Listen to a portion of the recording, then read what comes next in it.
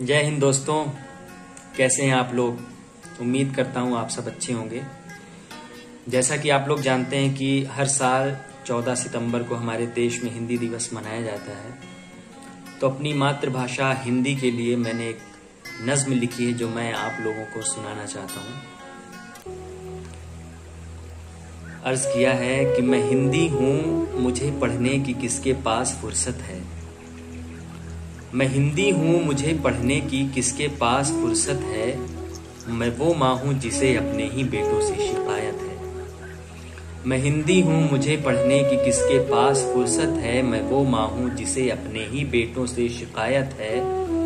मैं अब वो ना रही जो प्रेम चंद्रा जी को प्यारी थी, जो जय शंकर महादेवी निराला की दुलारी थी, जिसे खुसरो ने चाहा, सूर तुलसी ने सराहा था जिसे कबीरा ने, मीरा ने लगन के साथ गाया था।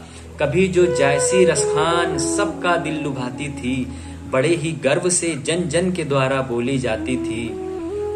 पर अब अपने वतन में ही भुलाई जा रही हूँ मैं।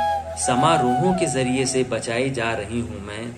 सभी इंग्लिश के दीवाने, मुझे अब कौन पूछेगा?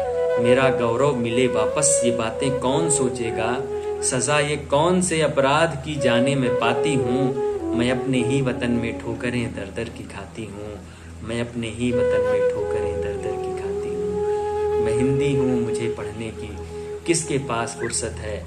मैं वो माँ हूँ जिसे अपने ही बेटों से शिकायत है। बहुत बहुत शुक्रिया।